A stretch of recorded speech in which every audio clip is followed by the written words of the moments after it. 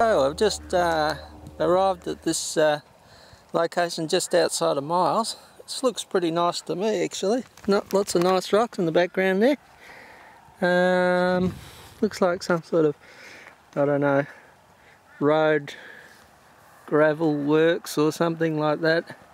There's lots of um, tracks in the, uh, the sand here. So there's a few there's dead something over there. Looks like a uh, dingo. Let's go over right, and have a look. Got here. Looks like a bloody lion. No, it's a pig. Look at the tusk on him. That's a porky pig. There's his tusk there.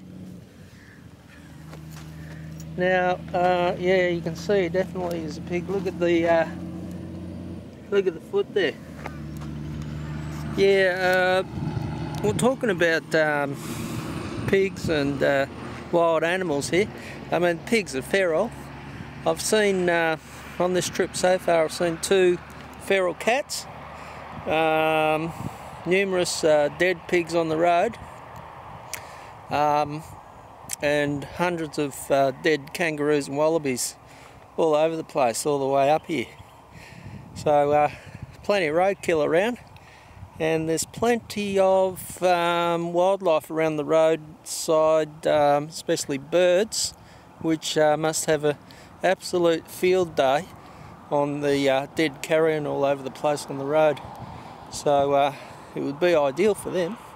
Anyway, uh, let's have a look here. It's quite nice. There's a wattle there, and uh, an interesting landscape, including the uh, the carcass there.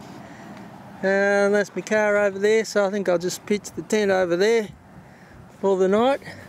It's feeling a bit chilly. It's going to be a pretty cold night, I think.